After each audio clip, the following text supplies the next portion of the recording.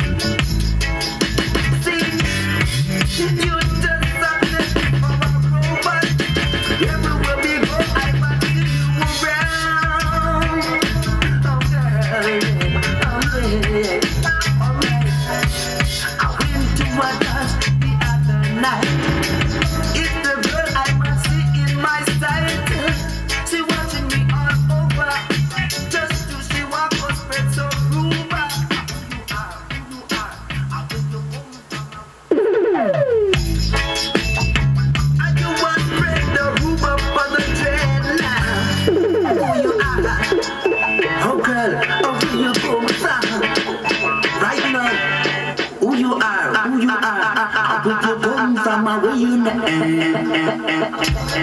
in